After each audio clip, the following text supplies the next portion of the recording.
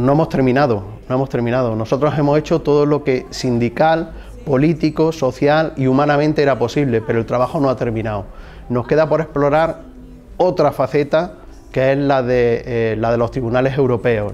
Al final la negociación colectiva es un derecho que no solamente se reconoce en España, se reconoce también en Europa y nuestras asesorías jurídicas están, están trabajando para valorar la posibilidad de eh, o bien establecer una ah, cuestión prejudicial en una demanda, una posible futura demanda que interpongamos contra alguna mutua, o bien una vez que finalice cualquier eh, los procesos que quedan abiertos, con las sentencias se hagan firmes en el Tribunal Supremo, podamos incluso valorar la posibilidad de que algún trabajador haga un recurso eh, contra el Tribunal de Justicia de la Unión Europea.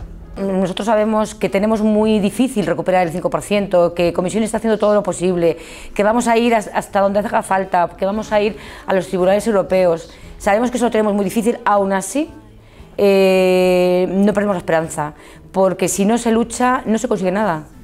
Esta es una batalla que ni mucho menos ha terminado.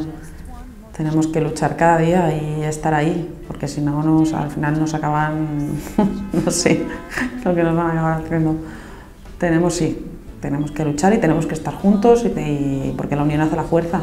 Entonces, pues para superar todo esto tenemos que arrimar todos el hombro.